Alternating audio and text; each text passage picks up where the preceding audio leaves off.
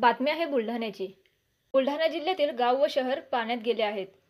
चार पाच दिवसापासून बुलढाणा जिल्ह्यात मुसळधार पाऊस होत असल्याने जिल्ह्यातील शहर व गाव पाण्यात गेले आहे. अनेक गावांचा संपर्कही तुटला आहे. संततधार पाऊस पडत असल्याने नदी नाल्यांना पूर आले आहे. ज्यामुळे चांदोली शहर व खेडेगाव पाण्याखाली गेले आहेत.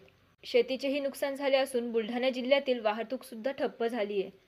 पावसाने लावलेल्या जोरदार हजेरीमुळे घराघरात पाणी घुसले आहे. अशाच ताज्या बातम्यांचा आढावा घेण्यासाठी आमच्या यूट्यूब चॅनलला सबस्क्राईब करा.